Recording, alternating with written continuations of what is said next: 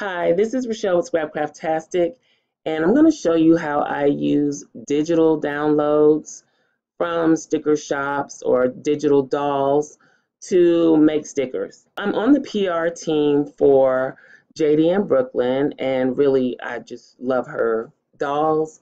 So I have quite a few of them. I have not made stickers for most of them yet. I kind of make them as I go. So I have this selfie doll here and I'm going to use her to show you how I make my stickers. This is not specific to dolls. It just so happens that I'm using a doll for this tutorial. You can use this for any shape or graphic that you would like to turn into a sticker. Typically when you get these files they come as a JPEG or a PNG.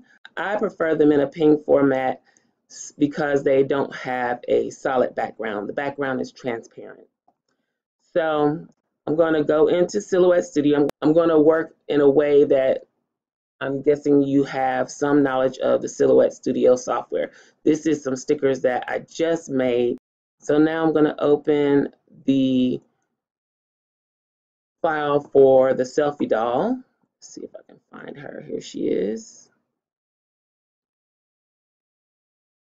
Okay, so this is how she opens up in Silhouette Studio as a ping. This ping happens to have a background, but we're going to remove it anyway, so it doesn't matter. Even if the background was transparent and it was a ping, I would still remove the transparent area. So I'm going to open the trace panel. I'm going to select trace area and highlight the entire doll. Now I want her to be solid yellow because outside the edge of the yellow is where the cut line will go or where it, in this case we'll trace and detach her from the background.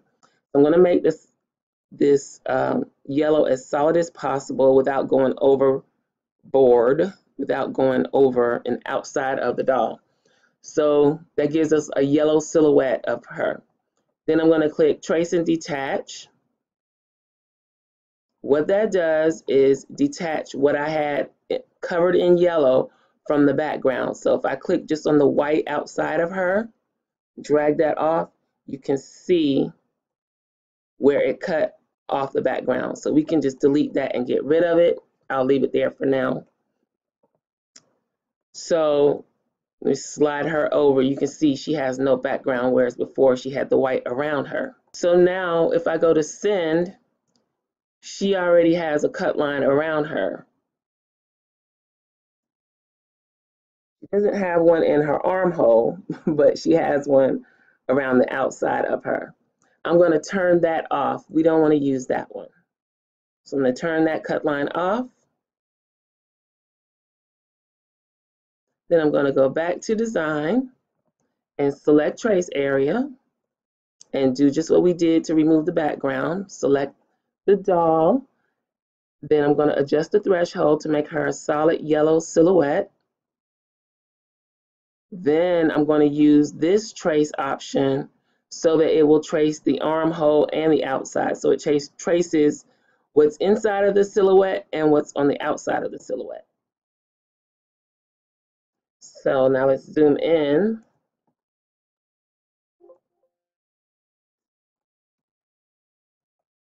And you can see the red line around her outside. It's if you can't see it, trust me, it's there. I'm going to right click on that red line to open this panel to do the offset. So I go to offset. and It's going to open the offset panel over here and it automatically goes to 0.125 inches on my system. I'm going to change that to 0.03125. That's one thirty second of an inch, I think. So that reduces it down. It's not so big. Okay.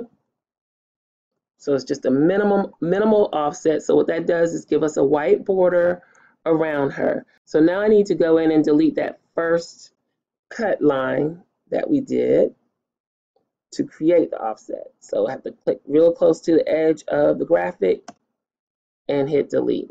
Now to check to make sure that that is gone, I go over to send. And let me zoom in so you can see that we only have one cut line. So where you see the red, that is where your machine will cut. So that's just basically getting the doll ready to be cut.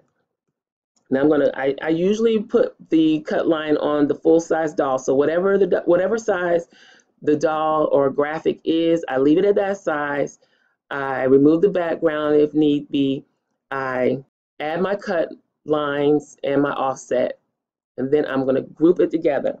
So I have my original size doll, and I'm gonna copy her and put her over on the side because that's my original.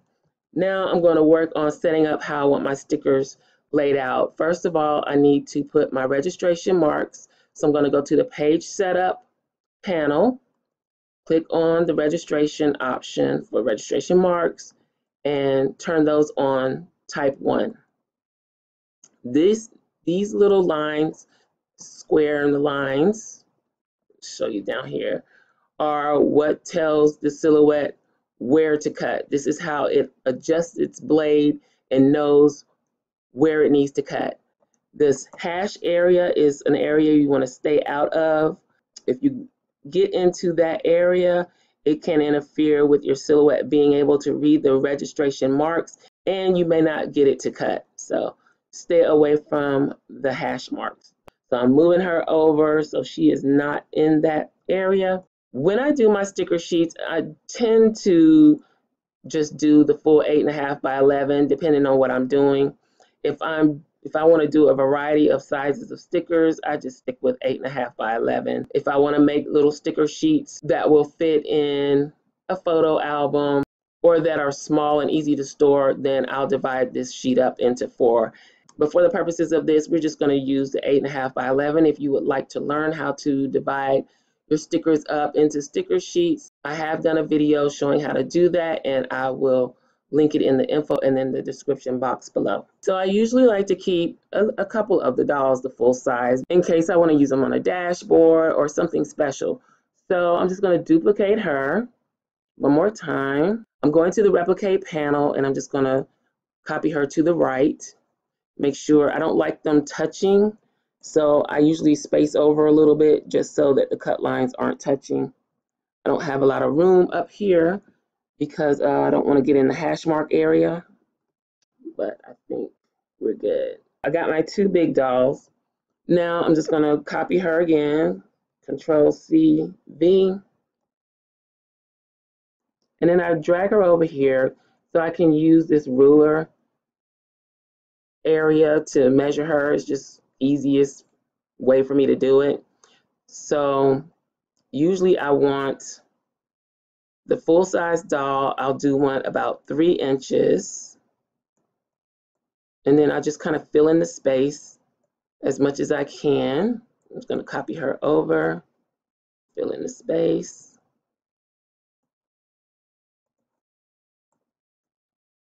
So it's not enough space here for her for the three inch doll, but I don't really need a whole lot of those. So I'm gonna go ahead, now I'm gonna make her a two inch. And she can fit right in here. So I kind of just fit as many as I can on the sheet. I'm not trying to make it a sheet that I would sell or anything like that. This is just for my personal use and I'm trying to get as much out of my sticker paper as possible.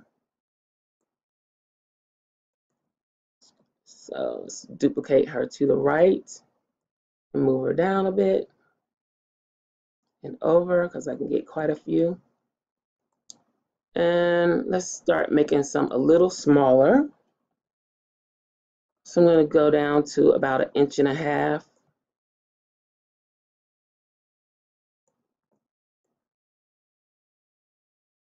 And then I'll just copy her over. Put some space in between them. Oops.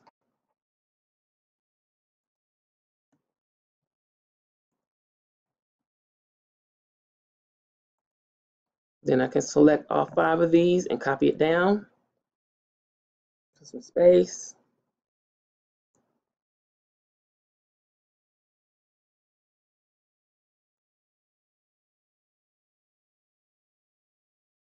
Okay, so that's enough. I think I have plenty on here. I probably could have done a few more of the two inch dolls, but I'll leave it like that.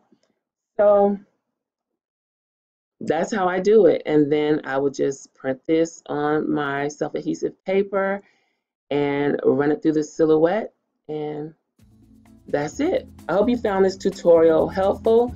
If you have any questions or comments, please leave them below. Thanks for watching and I'll talk to you later. Bye.